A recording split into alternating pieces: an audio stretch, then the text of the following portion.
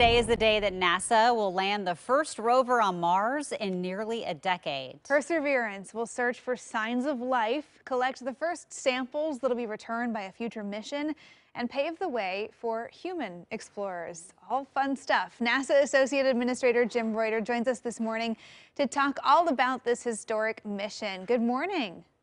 Good morning. So Perseverance, it's, it's the first rover to land on Mars since Curiosity back in 2012. What is so special, though, about Perseverance and this mission? Yeah, this is really an exciting day for us, and I really appreciate being here. And we're getting ready to land uh, Perseverance on Mars at um, in at 3:55 Eastern, so I think 12:55 your time.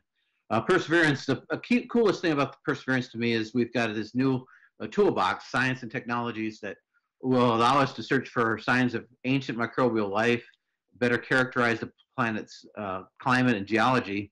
And for the first time, we're going to be able to land in an ancient test lake bed, uh, which is one of the more exciting places on Mars to explore because we have this technology that we call terrain relative navigation that's kind of an eyes and map to help precisely land along, along uh, steep inclines, sand, and rocks. Okay, and so then the the rover it will be studying some of the the hopefully the what did you call it micro, microbial yeah. uh, elements that it finds. Yeah, well, uh, what we're kind of looking for, we'll collect samples and examine the rocks for any ancient signs of life that we call kind of biosignatures. It won't be the it won't be microbial itself, um, but it'll tell us about the formation of rocky planets and, and what's there.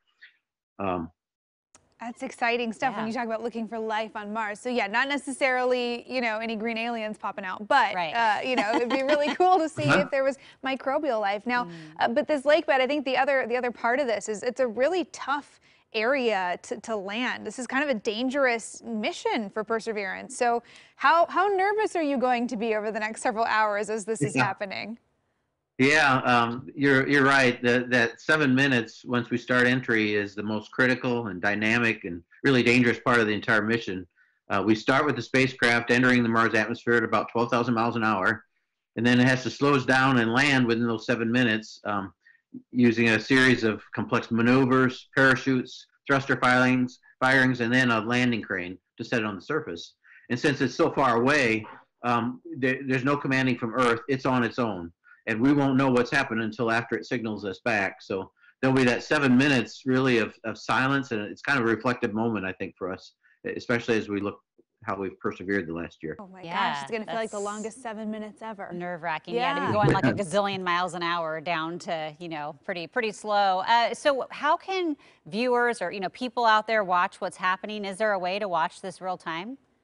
Yeah, there sure is. Um, I, I recommend going to mars.nasa.gov. You can you, you'll, you'll you can get you'll see you'll be able to have links to anywhere you want to go. The NASA TV will be showing this live, and you'll be able to link to it. Um, touchdown is at uh, 3:55 Eastern, so that's 12:55 your time. Um, and it's enter, the commentary will start at 2:15 Eastern, so three hours before that.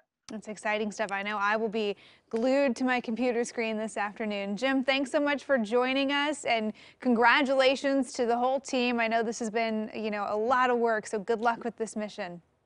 Yeah, thank you. And if you want to watch that historic landing of Perseverance on Mars, we're going to have that link for you that Jim mentioned, all the info you need at KOIN.com. Pretty cool stuff. Okay, it is uh, 741. You know, the Pacific Northwest loves nature. Well, up next, how a local shoe company is helping give kids access to the great outdoors. Plus, we're helping you stay warm this winter. If you're having some HVAC troubles, you might have noticed it as soon as the temperatures dropped. We got some advice for you coming up. So